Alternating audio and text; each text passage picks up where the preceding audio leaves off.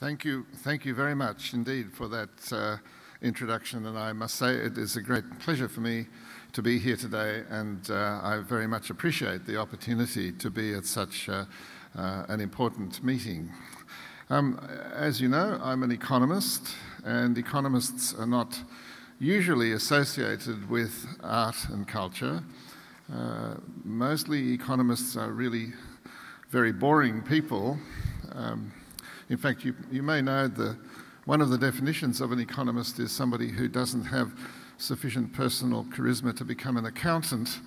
Uh, and uh, uh, some of us who I think who work in the area of cultural economics have managed to shake off that, uh, that um, description. Uh, and as George mentioned in his very kind uh, uh, introduction, the work of people in economists in the economics of art and culture have tried to show how there isn't necessarily a conflict between the notion of culture uh, as something which is absolutely fundamental uh, and important to society and to individuals in society, uh, and the fact that it also has economic uh, dimensions uh, which uh, can be quite important uh, in many ways. So the work of cultural eco economists has, has not been only about the financial um, uh, payoff, as it were, from, from the arts and from culture. In this brief time that I have this morning, I want to do uh, three things. Um, how do I turn this on? Green button, thank you. There we go. Um, I want to do three things. Very, firstly, to, to say something about what we have done in the economics of museums. It has emerged as an, as an area of the economics of art and culture, which is quite distinctive. Then I want to say something about the fact that some issues and some questions uh, remain the same despite the fact that one of the major influences on museums, as we all know, in the last uh, decade or so has been technological change uh, and the impacts of, of, of, the digital economy. And then finally, if I have time, I'll say a word or two about uh, sustainability uh, if we have time.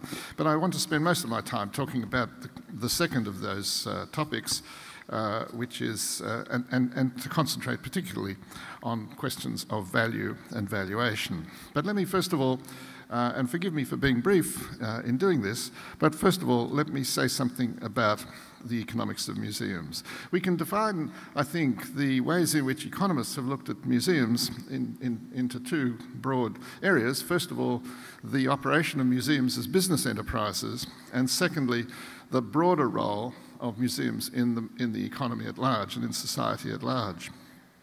In the first case, um, the, the question that has been addressed by economists looking at museums has been to say museums are, exist for cultural, scientific, artistic, natural history purposes, uh, but they are also businesses and they have to run as efficient business operations. And if they, if they concentrate solely on their cultural objectives uh, and neglect the fact that there is a real economic world out there in which they have to survive, uh, then that can be a problem. So the question of balancing, as it were, the uh, uh, or, or, how to meet the cultural scientific objectives of a museum and still operate as a viable business has been uh, of primary concern. And this uh, comes down to issues such as pricing, to questions as to how the collection of the museum should be valued, and particularly in relation to commercialisation and how far that process should go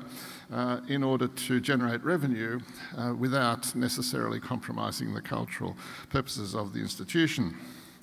In the second area, museums in the macroeconomy, museums are, are, an essential part of what have come to be known as the creative economy or the cultural industries. This is an area in which uh, there's been a great deal of policy interest in the last uh, 10 years or so uh, as governments have realized that culture and creative industries have significant economic potential and that they can generate revenue, they can generate employment, uh, they can generate tourism and so on.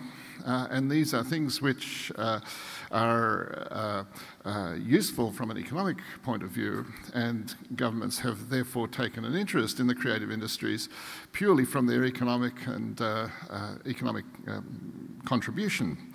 Nevertheless, again, the same issues arise as to the fact that, that museums don't exist uh, uh, as commercial operations, they exist as cultural institutions, uh, and so the ways in which the museum sector should be interpreted within the macroeconomy and within the cultural industries uh, has been of particular concern. Uh, there is also the question of the impacts on local economies, which uh, for museums in particular areas is of particular importance because often they have to demonstrate to local authorities that they are um, uh, a useful and viable uh, and productive part of the local economy and contributing to regional growth and so on. Uh, and this is another area where much uh, work has been done in order to develop the means for measuring these sorts of effects.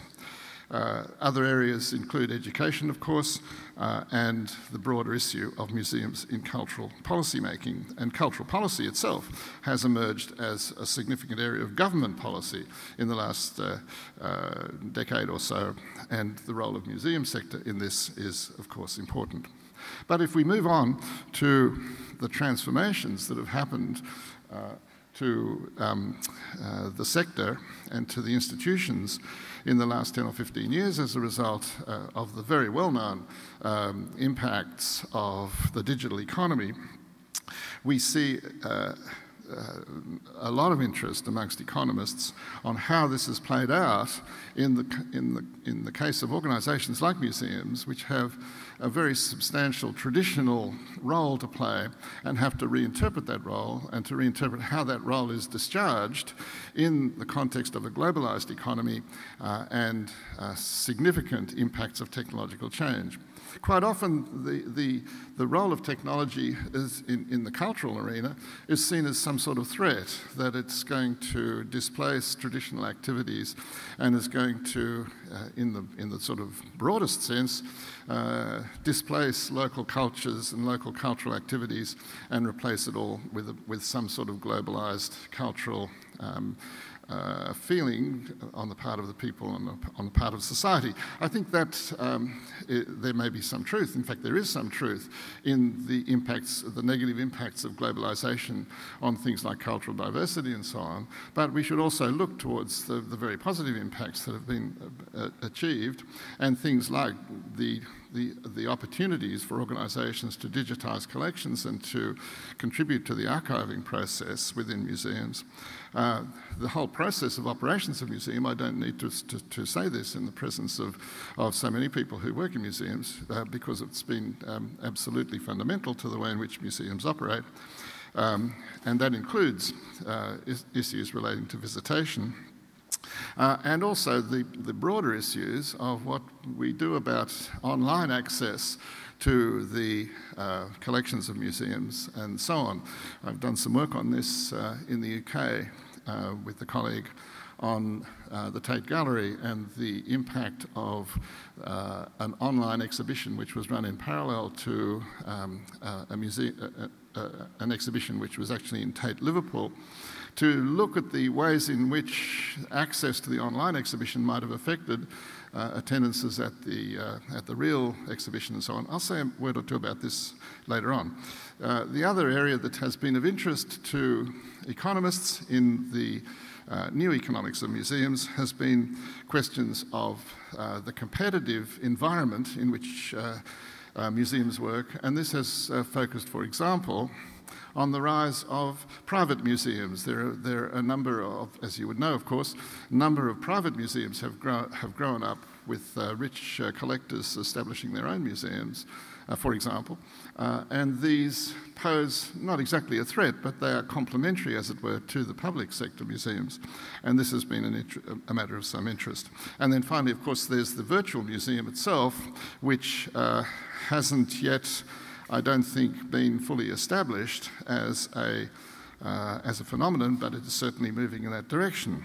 But, as I said at the beginning, um, there are some questions, despite this rapid changing environment, there are some questions which remain the same, and in relation particularly to things like the virtual museum, the inalienable significance of the real object is something which we, uh, which we have and which is clear and which can't, in a sense, be changed, no matter how much uh, and how uh, sophisticated the technology to represent uh, objects, paintings, um, and other cultural artifacts in museums to represent these in, uh, in digital uh, form uh, that can be consumed, as it were, anywhere in the world, the fact remains that the actual tangible object, whether it's a painting or a cultural art artifact or whatever, uh, remains unchanging.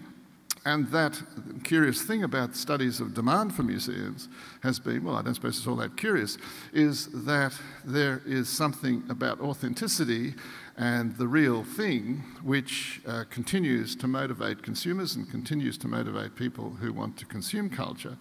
Uh, and this is true, for example, in relation to paintings, where it is possible to produce copies, uh, duplicates of work which is absolutely uh, unable to be distinguished from the original, uh, and yet uh, the fact that a painting such as by Van Gogh or by anybody else is the real one, which is the hand of the master somehow or other, that has a, a, an authenticity uh, which can't be changed. Um, and so for the visitor, uh, this means that uh, the, the experience of being in, in the presence of the real object is something which can't be changed and gives uh, heart, as it were, to museums to continue to display uh, the real thing and to expect that people will want to see it and that virtual museums or that online access to museums won't replace the real experience. It may be complementary to the real experience, and this is something which we found in that work which we did uh, with the Tate uh, a few years ago, that in fact uh, access to the online exhibition did stimulate demand for the real thing. And for uh, institutions, the question about the real object does raise issues of, of accession and deaccession, which of course you're much more familiar with than I am. But I want to move to the, the main topic that I was uh, um, uh, that I want to talk about this morning, which is questions of value, because this also remains an unchanging question. People still ask, what is the value of a museum to uh, of a single museum to the local economy or to society, to its local society, or to the national economy, or indeed the global economy. Uh, what is the value? How do we measure the value? Uh, uh, both at the, at the institutional level and at the macroeconomic or the social level. What I would like to do is to, is to uh, talk about some of the basic concepts which we, uh, as economists, use to consider these sorts of questions. Um, and the concepts are the same, whether we're talking about the single institution or the museum sector as a whole. And the first of the concepts, which is very familiar to us all, is the question of public value. And this is something which uh, um, comes up all the time in discussions about public policy. Um, because uh, the definition of public value and the fact that museums create public value is something which is clear enough. It's the value that society as a whole derives from public expenditure but the problem is that public expenditure is evaluated by governments and also by private corporations on the basis essentially of the economic dimensions of, of, of value uh, using techniques such as cost benefit analysis, which um, really considers only those impacts that can be measured in financial terms. And so this is a crucial issue um, uh, in thinking about value because as we all know, uh, the question uh, of value from a museum goes much further than simply talking about its economic value. And this has led to the, the idea of public value, or, or, the proposition that public value in the case of arts and culture has to be expanded from that which is conventionally taken into account in cost benefit analysis and to include um, uh, an assessment or an understanding of what the, the, cultural value might be. And this has led to, to a, a, a, a it, it is a simplification in a way, but nevertheless it, it, it stands um, the test, I think, and has stood the test in looking at the way in which value is both conceptualized and measured uh, when we're talking about arts and culture. Uh, economic value being all of the values that we can measure in monetary terms, uh, whether it's dollars or euros or whatever the currency is, on the one hand, and cultural value, uh, where the monetary yardstick is not appropriate. One can think of, of many ways in which value accrues either to individuals or to society at large, for which measurement in monetary terms is, is really not appropriate. Think about cultural identity, for example, whether we're talking about cultural identity of individuals or more broadly cultural identity is something which really doesn't, it doesn't make sense to talk about it as having a, a, a monetary value. It's something which is important to people. Might, you might think of it as a spiritual value if you like, um, but money, money, is not the appropriate um, measuring stick. Uh, and so that uh, leads us to measurement issues, which I'll return to in a moment. This, the, the, sec the second concept, which I think is uh, critical in understanding museums as economic phenomena is, is the concept of cultural capital. This is cultural capital not in the sense of Bourdieu, which is a sort of sociological phenomenon, but in a strictly economic sense, thinking about cultural capital as a capital asset. And so we could think of museums as a bundle of assets being the physical capital, which is the buildings, the equipments, and so on, the human capital, which is the staff and their skills, which is contained in the people who work for the museum, but also the cultural capital, which is, uh, in the case of a museum, essentially the collection. And so we could say that the cultural, the, the cultural capital um, a, a, definition of cultural capital is an asset, in economic terms, an asset that embodies or yields cultural value. So we're back to this question of value as the distinguishing characteristic of this form of capital, in addition to whatever economic value it generates. Now, those words embodies or yields, uh, in the case of a museum, uh, could, be, could be said to, to to be separated by saying that the stock of capital which exists in the museum, namely the collection and perhaps also in the building, embodies cultural value. It also embodies economic value because the, the, the building is worth something and the collection is, is worth something, but it embodies some cultural value and that stock of capital yields a flow of services which are utilised by people, uh, and, and that is the flow of services which are provided to users. So this corresponds to a, a very uh, standard uh, distinction in economics. When we talk about capital assets, we talk about the stock of assets, and we talk about the flow of services that the capital assets yield. So if you think about a car or a house, it has a stock value, but it also provides a flow of services, and a museum is, is exactly the same, and the cultural value uh, is again exactly the same. So, um, let's go back to the question of economic value and be a little more precise about what the economic value of a museum comprises and this is really quite important to make this distinction, uh, and one which is not often made because um, the usual approach or the sort of standard economic approach is to say museums get used for certain purposes, they have a value, we can measure that in terms of the value to the consumers who, who consume the, the museum services, um, and that's it. But in fact, one of the most important characteristics of the, of the economic value of a museum is what we can call non-use value. And the work in cultural economics that has grown up around this concept parallels a lot of the work which went on earlier in environmental economics when the same sort of thing was going on, talking about how do we measure the value of environments, uh, and this was, uh, or environmental assets, and the same sorts of concepts can apply in culture to the cultural assets.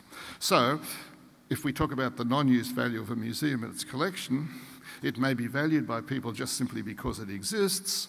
Uh, we do value the fact that some of the great museums of the world are there just because they exist, even if we don't go there, and this may equally apply to very small museums in local communities. Uh, we may have a value, we may place a value on museums because we would like to keep open the option that we might go there sometime. We may never have been, say, to, uh, to, to, Florence, we may never have visited the Uffizi, but we would like to know that it's there, so we will have the option of going there at some time. And then finally, there's the so called bequest value, which is the value of leaving things to future generations, and that's something which motivates people very, very strongly. So that's the economic value, and uh, I would, would really stress, I'll say something about measurement in a moment, um, but something that I would really stress is that the non use value is the part which is often neglected because it's difficult to measure and it's hard to put your finger exactly on it. It's easy enough to measure use value because you can measure the revenue that's coming into the museum, and you can look at its financial accounts and so on, and that's uh, relatively straightforward. But for the non use value, it's much more difficult. And I'll return to questions of measurement uh, in a moment. Firstly, let me say something about the cultural value, because remember that these are the two components of the value that we're talking about. If we think about cultural value, we can say in general terms, a museum has cultural value, but it doesn't mean a great deal to say it in such broad terms.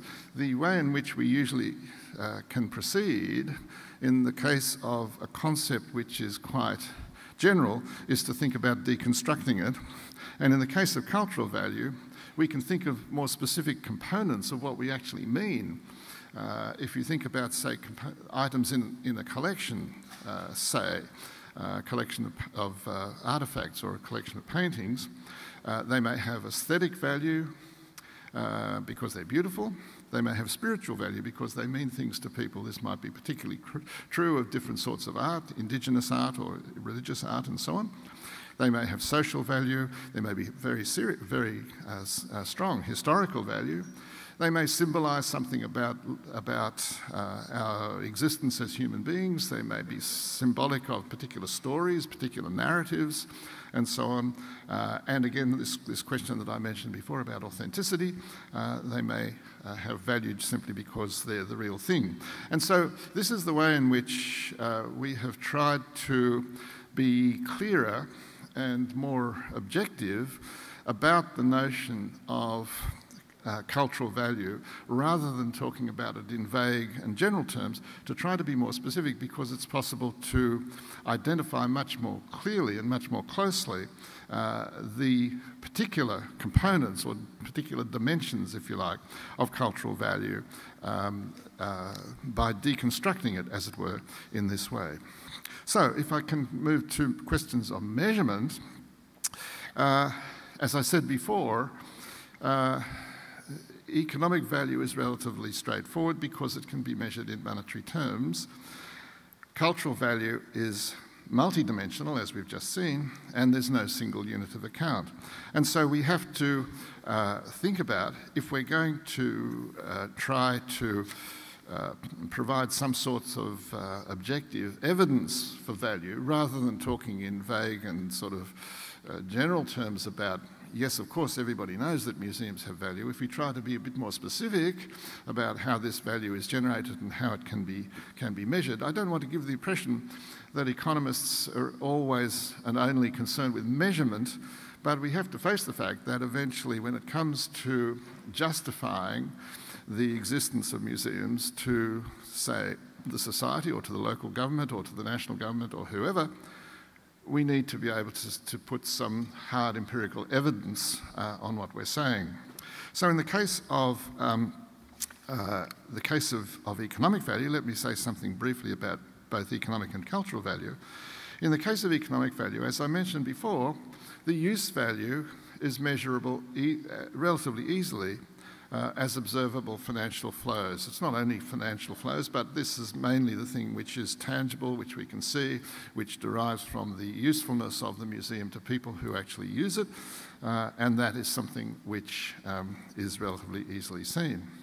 The non use value, which is this sense of uh, demand or, or uh, valuation within a group of people, within the population of a town or a city or the, or the, uh, the, the, whole country or indeed in the whole world, the non-use value uh, can only be measured by actually asking people what they're willing to pay in order to uh, receive the sort of public good benefits that, that might come. So that, for example, if we take the case of a local let's take it at a relatively local level, a local museum may be valued by people, even though they don't necessarily go there, um, because of those, they like to think of it as being there uh, in case they want to go sometime or because it's important that the town has a museum and so on. And you can find out how much they would be prepared to pay uh, by going around and asking them.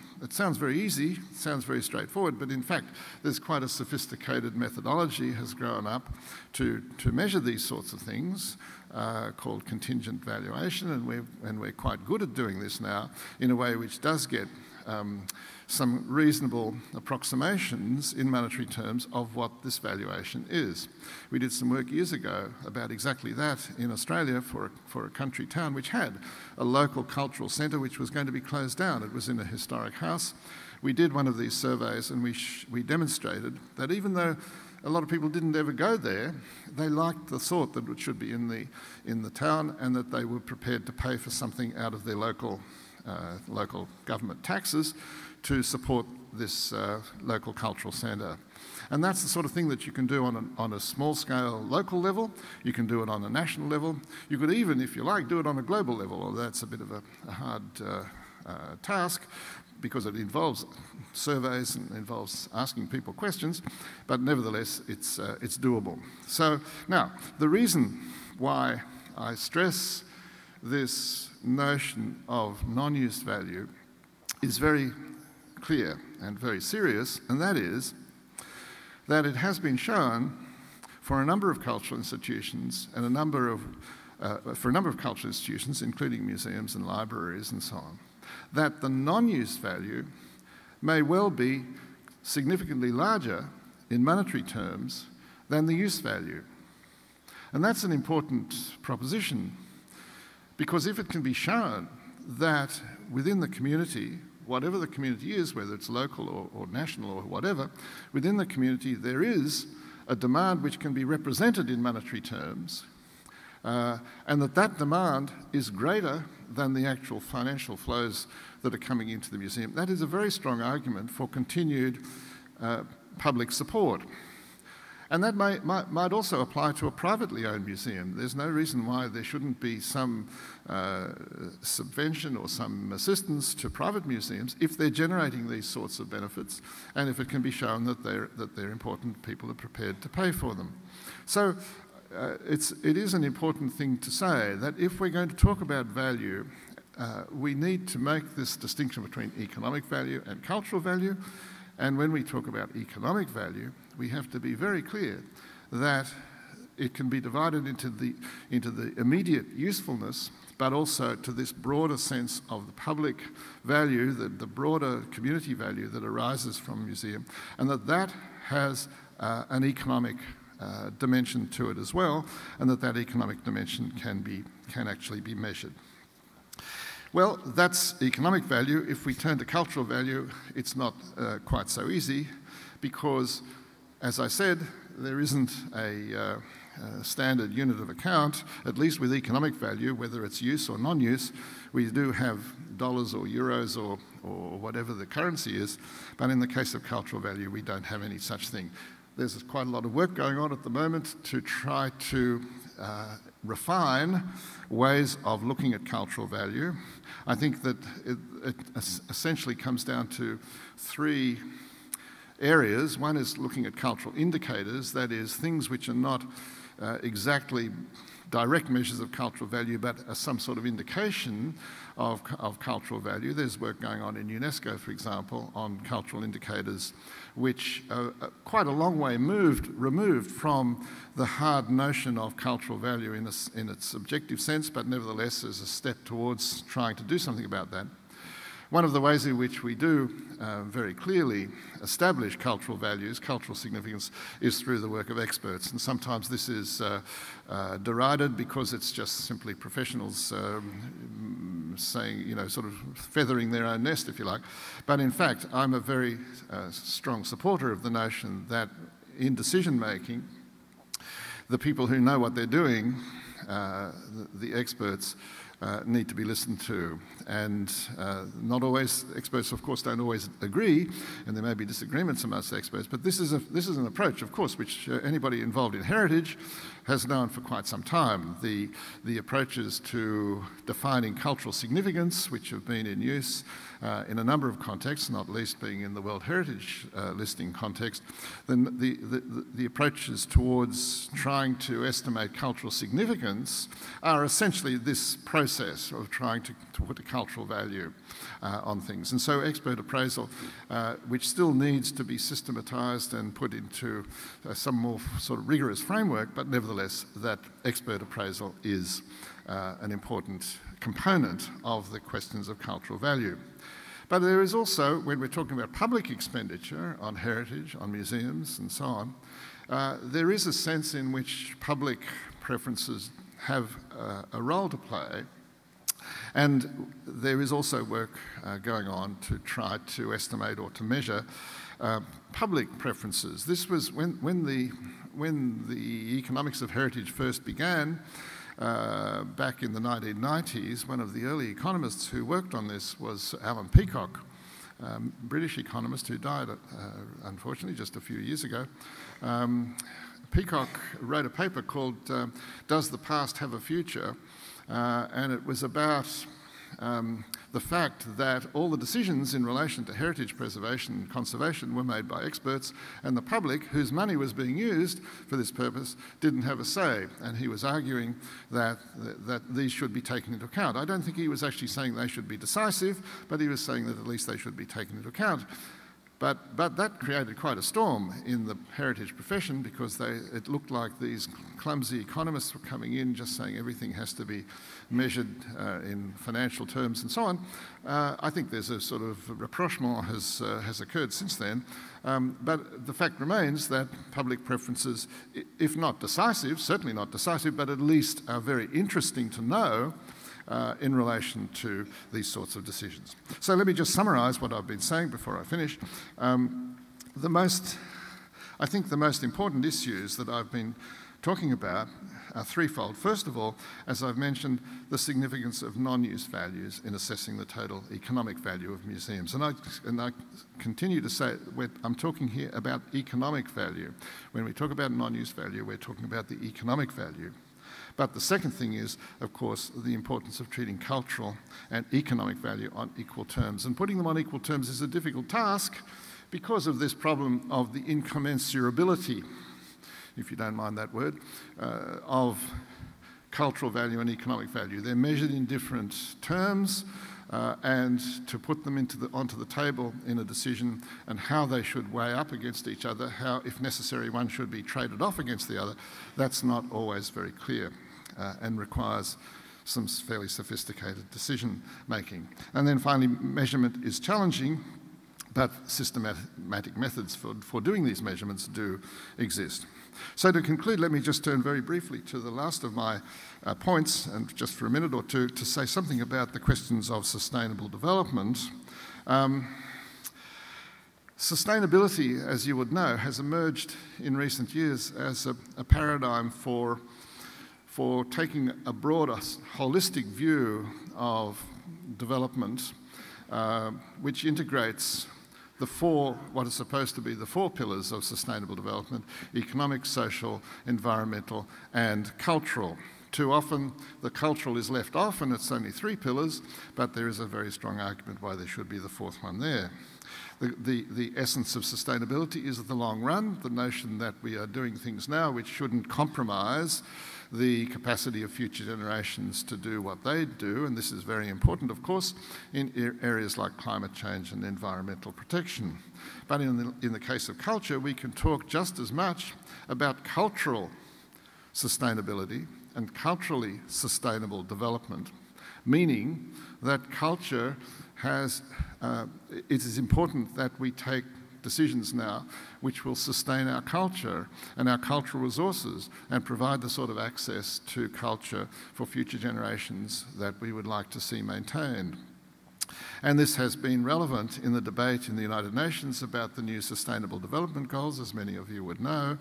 Uh, the attempt by UNESCO and uh, other NGOs to, uh, to argue for a sustainable development goal uh, relating to culture didn't uh, materialise, and indeed, uh, there's really, one has to say, very little reference to culture in the new Sustainable Development Goals which were issued last year. But that may not matter so much given that there is an international framework, an international legal framework for uh, integrating culture into sustainable development, and that's provided by the UNESCO Cultural Diversity Convention, for which most of the people, the countries of most of the people sitting in this room would be signatories. And that is, in a way, more relevant than a set of goals, because goals are aspirational, whereas a, whereas a convention, a treaty, is actually has some sense of obligation, and it does provide I, in my view, it shouldn't be called a Cultural Diversity Convention. It should be called a Cultural Policy Convention because it provides a, a framework for thinking about culture in the development process. So that does give us some uh, hope, I, I think, for, for the future. And so I think there's time for some questions, so I'll stop there. Thank you very much.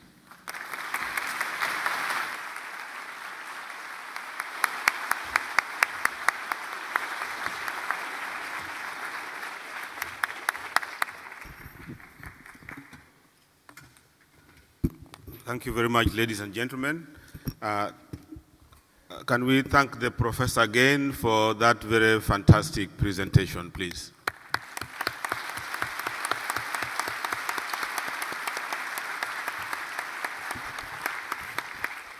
Uh, very quickly, I know there's another session coming, but very quickly we'll take about a few uh, questions for the next 10 minutes of discussion. Please be very precise and ask the question no stories. If you have a question, ask it and we will take that. So one minute each person. I'll start from Amar.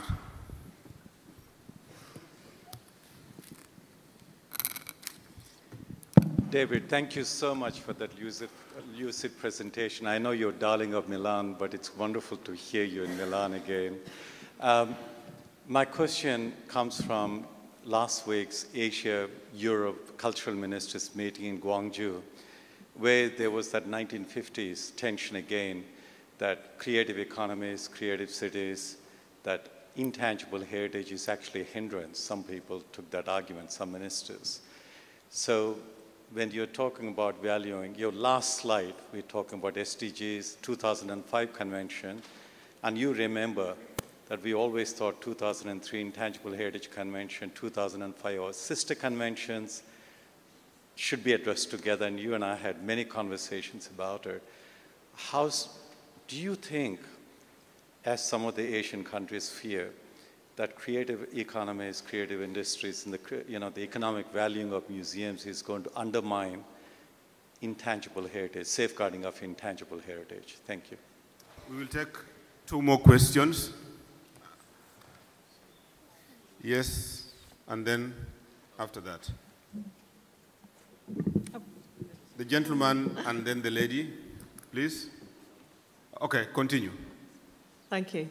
Um, my name is Fiona Hutchison and I work for Museums Galleries Scotland, the development body for museums there. Um, I wondered if you had any good examples of a willingness to pay scenario that had been developed at a national level to measure or derive the non-use economic value of museums for their population and any advice on that matter, please. Okay, the gentleman and the lady, and then we'll answer to those. You probably can't see behind the camera, but I've been standing. Good morning. My name is Jonathan Cooperman from Ecuador. I have a very practical question. What is your suggestion for us museums on what economic attitude, awareness, or actions shall we not leave aside in order not to fall in paternalistic initiatives and compromise society, local, and national governments on support for museums? Thank you. Okay, Goranka. Goranka Horjan from the Ethnographic Museum in Zagreb, Croatia. Uh, my question is, you have mentioned how it is difficult to measure a non-cultural value, and you said that there is expert appraisal, but also public preferences. But sometimes public preferences actually depend on expert appraisal and uh, some distinguished opinion makers in society. So how you think it is possible to uh, distinguish these two? Thank you.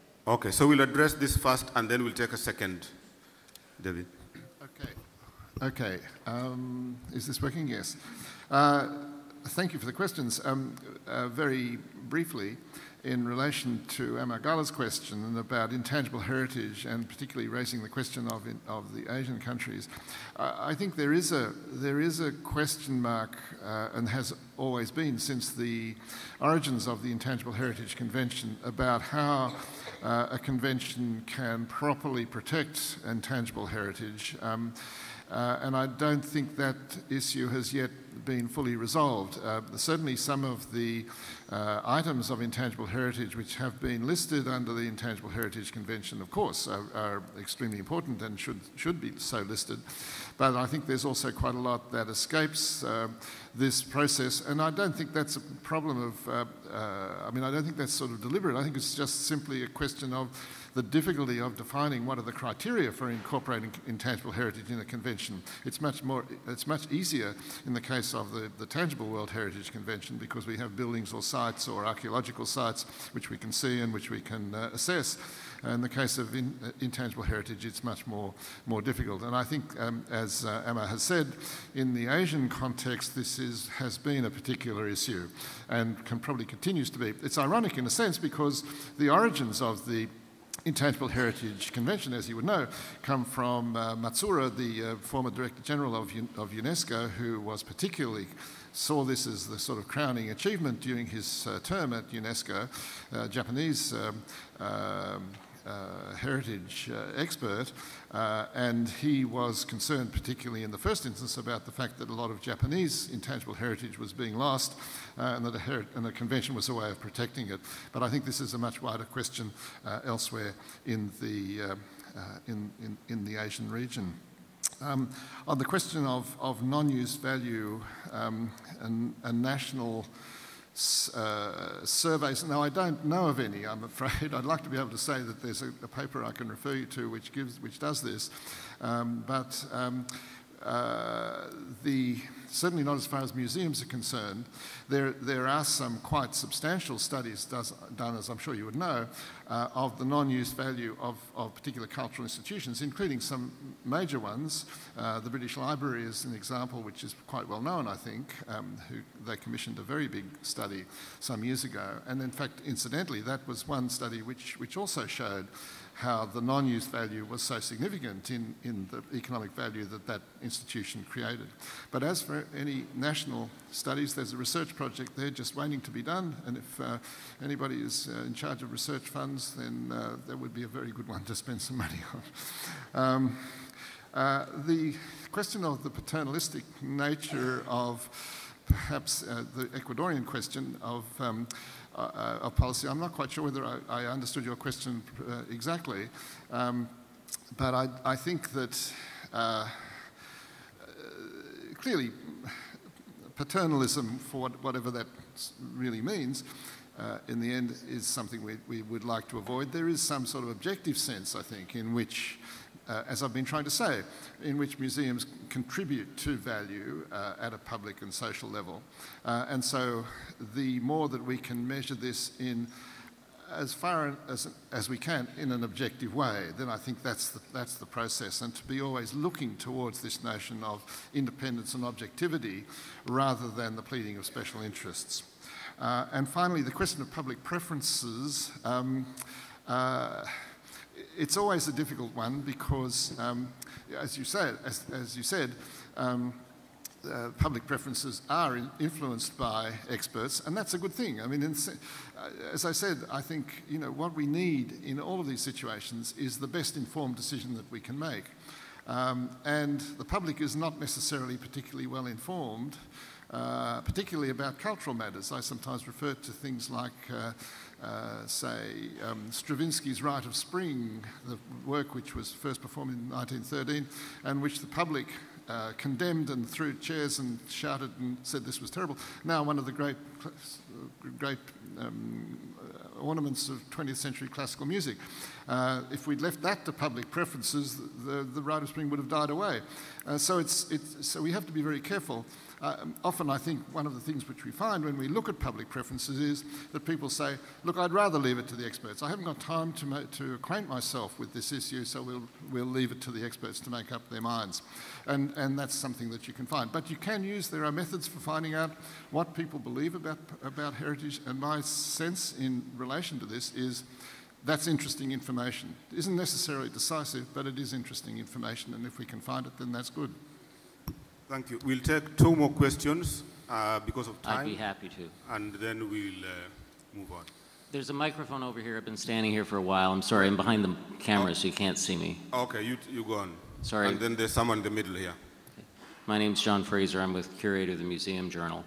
And I'm wondering where you place the scholarship that happens in museums in terms of value, since that's a usership that happens long after the fact. Thank you. The next one. So a hand somewhere there.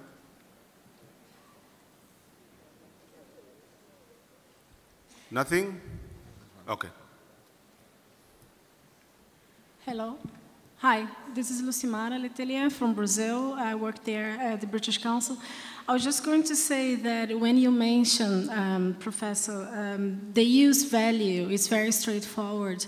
In so many emerging economies, such as Brazil, the measurement of use value is still not very much straightforward. It's something we're looking at developing and very important to uh, organize that and train the organizations to be able to do it. So my question is, if there is any open source that you would recommend for the organizations to have access to measurement in developing and emerging economies to be able to still um, have the mechanisms to measure used value of museums. Thank you.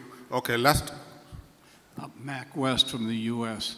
Should you not be counting in the economic value the money that is spent in the community by visitors to the museum when they go to restaurants and hotels and purchase materials so that goes into the local economy?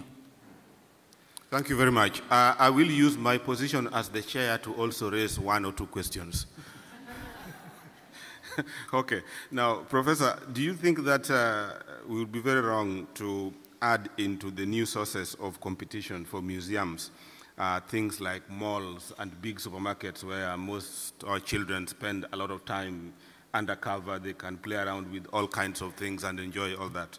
The second one is on the issue of non-use and use values. Uh, economically, in the economic terms, it's quite okay. Uh, but on a cultural term, from my own background, if you say non-use, which means it's useless, um, do you think that we need to look at the language in which we address some of these issues?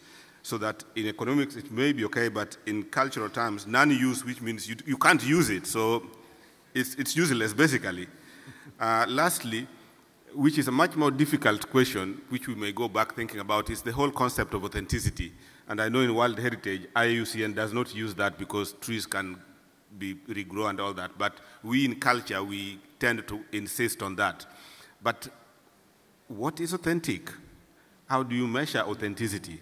Uh, and how do you measure that value of authenticity? Is it something that is helping our cause or is it dragging us back? And do, do we need to redefine and rethink about the whole thing? Uh, thank you very much.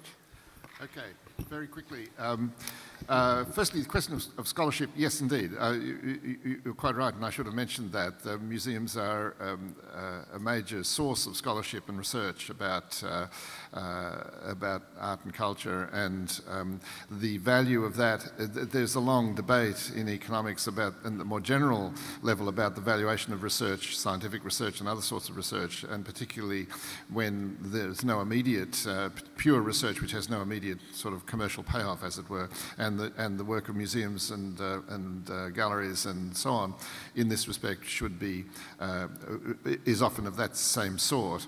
Uh, and that is undoubtedly uh, an important component of the value. It, it, it, again could be probably divided into that part of the research which can be commercialised or merchandised in some way and that therefore would be able to have a, a, a direct economic value. There may be a non-use value if the research gives rise to some sort of sense of public value uh, and there may be a cultural component of that as well. So it's really quite a complex issue but absolutely one that should be taken into account. Um, the question of access, uh, I, am sorry, I don't remember quite the question. Um, uh, so I'll go on to the question about impact. Um, uh, the uh, the question about restaurants, museums, taxis, and so on.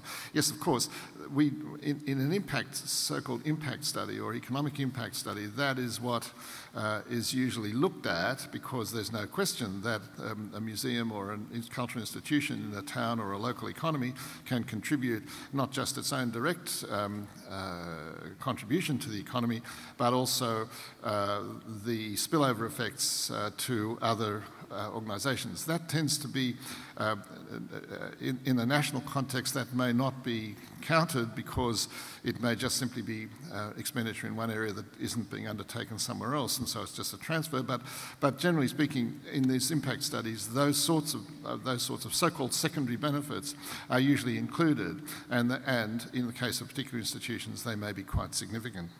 Finally, in, in relation to, uh, to the chairman's uh, one question, which was actually three questions, um, uh, the question of, of malls, yes, uh, uh, kids do spend a lot of time in, in malls. They spend a lot of time looking at their computer screens.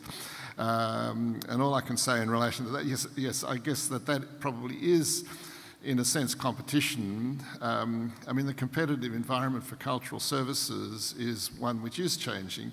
And one of the interesting questions, I think, which is a broader question than what you, what you actually asked, is to what extent does the online gaming and online uh, and social media um, behavior of young people um, displace their uh, attendance uh, at actual um, museums and cultural uh, institutions generally, or going to theatre or going to opera or, or whatever. Uh, the whole pattern of cultural consumption is changing. It's changing as a result of new technology. There's a lot of interest and a lot of work being done on this. Uh, the influence of social media uh, is, is, is quite profound on the younger generation, perhaps on the older generation too.